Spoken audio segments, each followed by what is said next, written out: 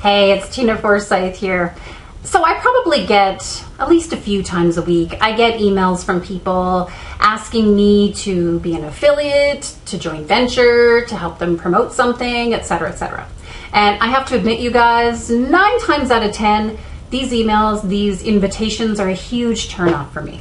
They're a huge turnoff for me. I just feel like the way that that some of these requests and invitations are being approached is so off the mark in some cases. And so I really wanted to share with you in this video today essentially how not to approach me if you want to have me become an affiliate or help you promote or whatever that is, right? So a few things. First and foremost, do not call it a partnership. I that that is the thing that probably irks me the most is when I get an email from someone saying, "Hey, we're looking for partners to help us promote this launch or this teleclass or this video series or blah blah blah. And if you want to partner with us, you just need to send two solo emails to your list and do a bunch of social media and yada yada yada." Right? That is not a partnership, people. You're asking me to be your affiliate. You're asking me to promote stuff for you. A partnership is a two-way street right? Don't sugarcoat the request under the word partnership because it's not.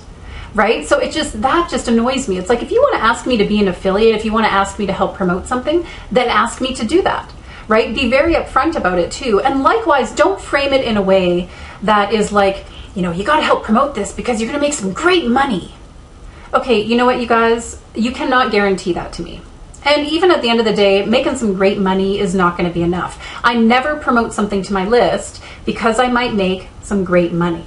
Right? I only promote things to my list, I only share things with my community when it is from someone or from a business that I know, like, and trust. Right? That's the only time I'm going to do it. I'm never going to do it just for the money. So don't frame it from the perspective of you can make this much money and yada, yada, yada, and all that other kind of stuff. Right? Because really, that's just not going to do it. That's just not going to be enough for that, right? Don't ask me to speak at your telesummit just to get me to promote it to my list. You know, and believe me, guys, I understand the strategy of a telesummit being a great list builder and all that other kind of stuff. I know and understand that. I've done it before in the past. You know, but I know that there's quite often people are, are asking me to speak at a telesummit just strictly because you want me to promote it to my list, right? And here's the bottom line. Nowadays, it is rare, if ever, that I can send out a solo email or do some direct promotion for somebody's telesummit. I mean, our own schedule calendar, our own cross promotions and actual partnerships and things that we have going on. Um, for the most part, my marketing calendar is chock full. So, and I will very freely say this to someone too, even if the telesummit looks like a fit, you know, would love to support you, would love to participate as a speaker, and I can't promise a solo blast you know, I can't promise to send one, two, however many emails, right? So if you still want me to speak based on that, that's fine. Um, but I'm not going to do that for you. I'm not going to be able to do that for you.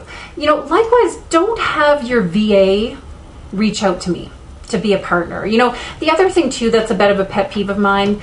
Um, I will partner with people based on the relationships. I mean, again, nine times out of 10, that's how my, those are the people who I'm going to promote. When you see me sending something out to you guys, it's usually because I know that person quite well and we have a relationship. And we may not be bosom buddies you know what i mean? But i know the person i know their work i respect them etc those are the people i'm going to promote to you right? And i believe i would much rather be approached by you directly to say hey we're doing this. Are you interested? Great. Yes. And then have you turn it over to your team.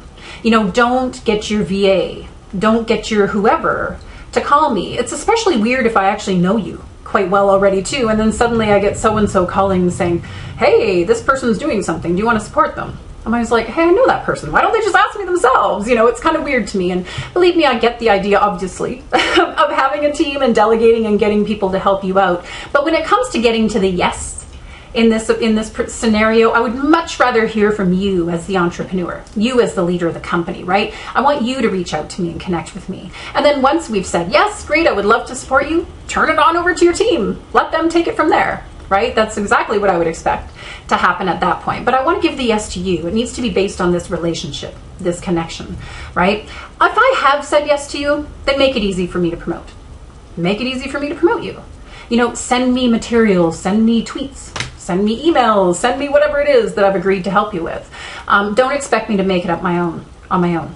You know, I'm, I'm honestly, I'm surprised at how often this happens where I have said yes to somebody and then I either don't get any material from them at all you know, saying here's what you can use, etc. Or I'll get it like last minute.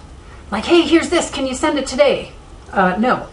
Nobody's confirmed this with me before. I'm not going to do a last minute whatever kind of thing, right? Make it easy for me to promote. Let me know. And so we can come to agreement on like the dates of sending something out or whatever it is. Make sure you get that to me ahead of time so that I can tweak it. I always edit and tweak and add my own spin to stuff when I'm promoting usually, right? So make it easy for me to do that. I'm not going to chase you down. If I've said yes to promote you, I'm not going to chase you down to do so. And just don't ask me to introduce you to other people who could help you promote this thing too. You know, again, it's just, I don't know, it just feels weird to me. Hey, we're doing this thing, blah, blah, blah. Do you want to do it? Or can you introduce me to some people? Or even worse than that, I have, I just thought of this one too. I think I got one of these a while back where it's like, hey, we're doing this program or we're doing this telesummit, yada, yada, yada. You know, we're looking for speakers. Who can you recommend? It's kind of like, you're not even asking me to speak. you're asking me to tell you who you should have speak, right? Like, that's just weird that's just weird to me, right? So that was another one too. It's like, don't ask me to introduce you. I'm not here to do the work for you. You know, if you want to get your own kind of affiliate promotion, you know, connections, JVs, etc. in place, then you need to build it from heart and you need to build it from purpose and you need to be real and really connect with people for the right reasons. You know, again, don't call it a partnership. Don't try to pull the wool over my eyes. And that being said, too, there's some people out there where we very purposely connect I know, like, and trust them, I'm more than happy to help support what they have going on as long as it fits into the schedule of what we have going on. And likewise, I always want to look for ways to go scratch, you know, their back and they'll scratch mine, or however that saying goes, you know, to make it a two-way street. At the heart of it, that's what a great affiliate, you know, scenario is about. That's what a great JV scenario is about, if you will, is being able to truly authentically do that. So some food for thought, you guys. I'm curious to hear from you too. What are the uh, biggest turnoffs for you yourself in this whole area of how people approach you about being an affiliate or being a JV or whatever that might be. Right? I would love to hear some of those so-called, you know, horror stories. Maybe they're not horror stories, maybe they're just annoying, but I would love to hear from you what those are. And until next time, it's Tina Forsyth. Take care. Bye now.